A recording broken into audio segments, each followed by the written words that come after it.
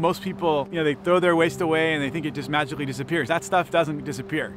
And what we do with the waste, how we manage the waste, how we separate it, utilize it, or underutilize it, actually has a big impact on our environment. SB 1383 is part of California's effort to force a very serious conversation about how we capture that organic waste and divert it and create a system where our organic waste will, instead of contributing to climate change, actually help us to solve climate change. California has ambitious climate goals to achieve carbon neutrality by 2045.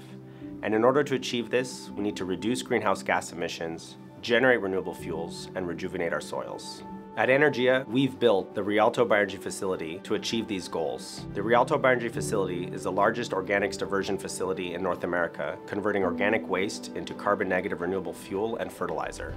The Rialto Bioenergy Facility is recycling the two largest organic waste sources in society, food waste in the trash and sewage.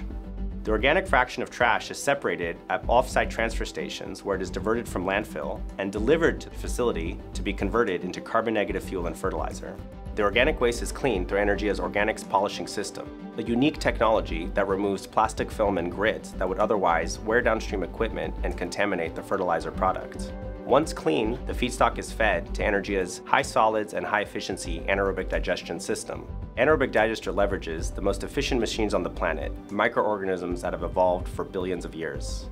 Here, the organic waste is converted into biogas, a carbon-negative renewable fuel. The biogas is cleaned and then upgraded to pipeline quality standards, where it is distributed to the natural gas grid and used as a transportation fuel in heavy-duty trucks and buses. The organic fraction that did not convert into biogas is separated into a solid and liquid fraction. The solid fraction is a nutrient-rich fertilizer that rejuvenates soils that have been degraded from the use of chemical fertilizers. About one third of the Earth's soil is arid from the use of chemical fertilizers. By converting the very food waste that we discard into natural forms of fertilizer, we're able to put nutrients onto the soil to rejuvenate it and create fertile land.